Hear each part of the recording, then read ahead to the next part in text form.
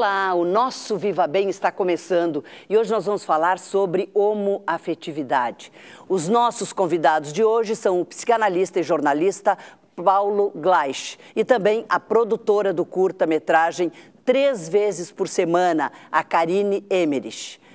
Antes, nós vamos assistir um trecho do filme Três Vezes por Semana, da diretora Cris Reck. Vamos lá? Bom, nós passamos uma pequena cena aí de 53 segundos do filme, né? E agora eu queria saber, Karine, o seguinte: o tema desse curta já fica explicitado nesta pequena cena, né? Da relação dessas mulheres.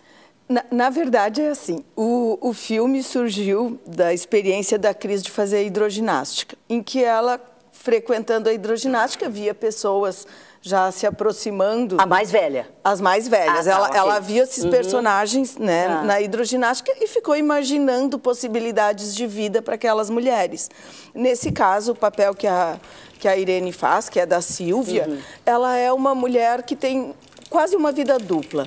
Ela vive frustrada na sua casa, o marido não teve filhos, o, o marido não lhe amava como ela desejava ou como ela imaginava que seria uma relação agradável, ela fica viúva e mantém para essas amigas da terceira idade uma fachada de mulher feliz, com uma filha, com uma netinha, né, com um marido que não gosta muito de viajar, mas existe. Uhum. E na verdade, esse jogo, né, que muitas vezes uh, a gente vive na, na, nossa vida real, né? Uhum. Aquilo que a gente apresenta socialmente e aquilo de fato que a gente sente e que a gente é. Nessa hora a gente está falando de um grupo bem grande bem, na sociedade. Exatamente. Então, no caso aqui, ela, ela vai criando uma fantasia que nem para ela é revelada.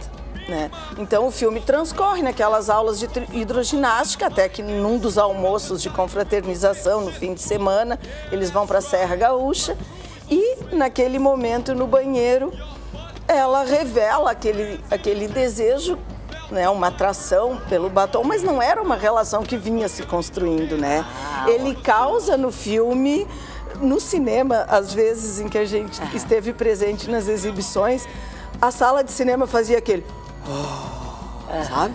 Ecoava aquela sensação assim. Era inesperado. De, de é, uhum. de choque. Talvez por quê? Por serem duas mulheres que se beijam, né? Ou pela iniciativa daquela senhora de mais idade, de se aproximar de uma outra um pouco mais jovem, talvez até seduzida por essa pretensa beleza, né?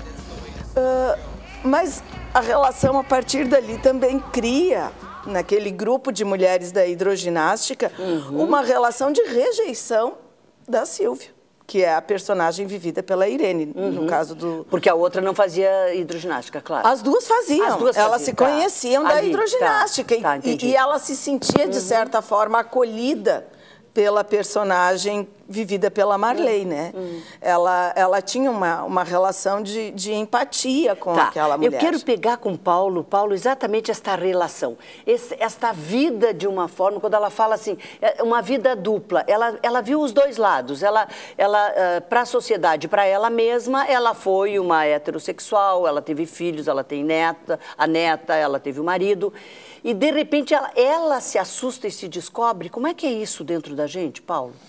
Pois é, isso é um pouco mais complicado do que dizer simplesmente que ela é homossexual ah, ou que ela é heterossexual, perfeito. porque de fato assistindo a esse curta a gente não pode concluir que ela é homossexual, né? Uhum. O que a gente vê ali é que ela, num determinado momento, nessa cena que foi mostrada aqui, manifesta o seu desejo por uma colega, por uma amiga e, bom, esse é um desejo, uma manifestação de afeto homossexual. Uhum. Né?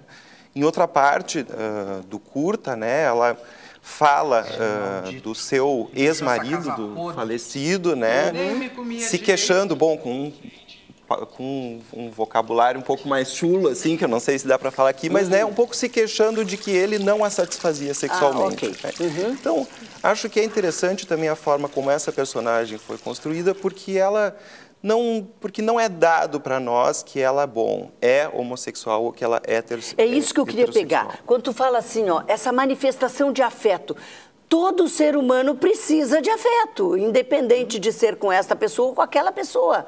É, é, essa frustração nesta relação com o marido teve uma carga para que ela, nessa idade, sentisse isso? Ou foi uma coisa daquele, daquele momento, daquele contexto, daquela solidão, entre aspas, que ela podia estar, mesmo tendo a filha e a neta? Porque a solidão é uma coisa que independe, depende do que a gente tem em volta para a gente se sentir só, né? Uhum, uhum. Bom, para eu poder responder a essa tua pergunta, eu precisaria ter uh, a Silvia no meu divã. Ah, Só que a Silvia perfeito. é uma personagem Te ficcional. perfeitamente. E a Silvia vai nos entender também, né? A gente está aqui comentando sobre a Silvia. Ninguém tá, vai analisar a Silvia, que não dá, né? Exato. É um pouco difícil uh, fazer isso, né? Mas eu acho que tem algo muito uh, interessante nesse uhum. curta, né? E que eu acho que retrata de uma forma muito delicada Uh, o que é bom, uh, essa, essa, questão justamente dos lugares né, que foi apontado aqui, né? ou seja, de uma relação uhum. uh, que ela tinha com essas colegas e de uma vida que ela sustentava para essas colegas e da vida que ela vivia de fato numa casa, bom, uma casa mais antiga, meio abandonada, com goteiras, né, com alguns restos dessa vida pouco frustrada, né? Acho que a gente Exatamente. pode dizer uhum. que ela teve, né, com o seu marido, claro. com a família que ela não teve depois. Uh, essa espécie de vida dupla que aparece ali, né, de uma forma muito escancarada, porque, bom, ela mente, por exemplo, que ela tem uma filha, que uhum. ela tem uhum. uma neta, né? Em uma certa medida, todos nós vivemos, né? Todos nós em casa somos um, na nossa intimidade. Uhum. E, bom, aqui no programa de TV, a gente claro. tem um jeito de falar, quando a gente está com um amigo, a gente é outro, né? Exatamente. né? Então, acho que isso também é algo que o, uh, que o programa coloca. E essa cena do, do, do beijo, né, que foi mostrada aqui, é justamente um, um momento onde há um certo encontro, um certo choque desses dois mundos, né? Quer dizer, algo muito da intimidade, do desejo dela com o mundo onde ela vive ali com as suas amigas, com as suas colegas, né? Uh, e perante as quais ela sustentava que ela era uma mulher casada, bem casada, né? Com um marido que ela uhum. amava, com uma filha. Então, de repente, isso se desfaz nesse beijo. Né? Uhum. Né? É, a, a, vamos pegar a questão da cena do beijo para as atrizes, é. né?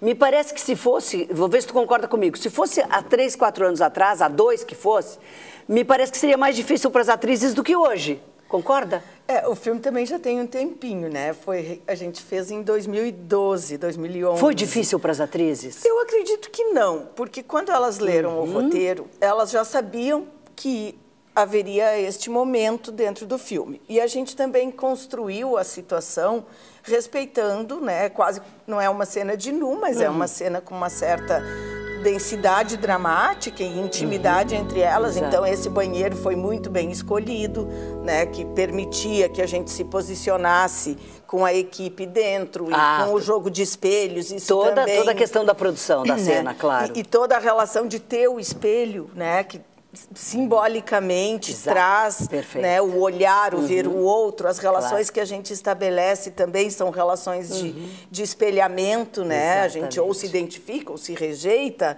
né? E então era uma situação que exigia um, um cuidado nosso de produção, assim, para que ela transcorresse tanto que a cena do restaurante é num lugar, a cena do banheiro é em outro restaurante, ah, né? Perfeito. São ambientes uhum. diferentes. O cinema é assim. Que esse é o que da produção, né? É, é o mosaico ali Exato. que tu tem que montar para no final parecer que é tudo no mesmo lugar. Né? Agora facilitou as grandes atrizes. Agora que é botaram... óbvio, é o que é eu óbvio, ia dizer. Né? Nós temos ali duas, né? Do, do teatro gaúcho, do exatamente, cinema, né? Que já tem. tem a, a Irene, né? inclusive, ganhou dois prêmios de melhor atriz com esse curta-metragem, né? Ele circulou nos festivais de, de gênero, assim, de discussão de temas uh, de homofetividade, tipo o Mix Brasil em São Paulo, no Rio, né? uhum. né? Então, mesmo nos festivais mais tradicionais, ele tinha sempre um destaque por abordar essa possibilidade numa faixa etária em que normalmente isso não é colocado, uhum, né? Claro. Uhum. A gente trabalha isso muito no adolescente, uhum. no isso, jovem, exatamente. né? Mas não vê a gente já não vê a sexualidade na terceira idade como uma Ex coisa muito natural. Exatamente. Né? Já parece assim que depois de um, principalmente para a mulher, os homens até a gente aceita. Ah, um homem casar com mulher uma mulher não pode mais, mais pensar nisso. Mulher não não está mais na época de pensar é, nisso. Mulher é. agora é vó, é o que diz, tem que fazer é. docinhos, se esquece esse lado. Agora imagina isso do ponto de vista ainda da homofetividade. Claro. É mais uhum. chocante, né? Paulo, eu queria pegar esse gancho só da aí. pergunta que tu fizeste para ela, tá. porque eu acho que, na verdade, né, uh, a questão de ser difícil fazer o beijo, eu acho que é muito mais difícil para o público do que para os atores fazer ah, um beijo, perfeito. né? Uhum. Quer dizer, a uhum. questão do beijo gay que teve recentemente sendo discutida, porque finalmente uma novela Botou o beijo, da, né, da Rede Globo colocou um beijo entre dois homens, Uh, não é porque para os atores isso fosse difícil, até porque a homossexualidade entre os artistas é algo que, bom, tradicionalmente é muito mais natural, uh, natural mais tolerado, né?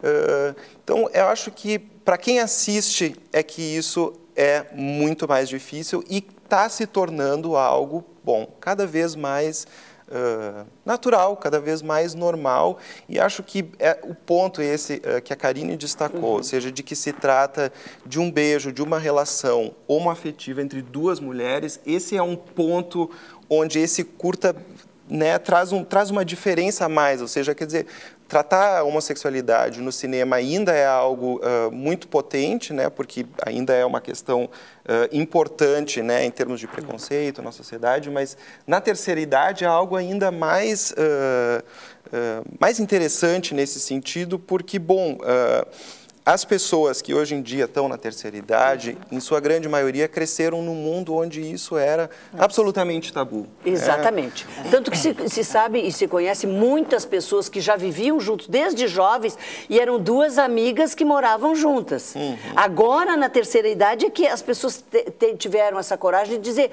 sim, nós, nós somos um casal já vivendo junto, uhum. desde, desde a da, da fase eh, jovem ou, ou fosse na fase adulta adulta, uhum. mas que ficou só como duas amigas. Uhum. Isso também se sabe que agora é que vem essa coragem, né? Bom, mas eu tenho que ter coragem de pedir um intervalo. É, mas nós vamos continuar conversando. É, exatamente. O nosso intervalo é bastante curto e a gente já volta.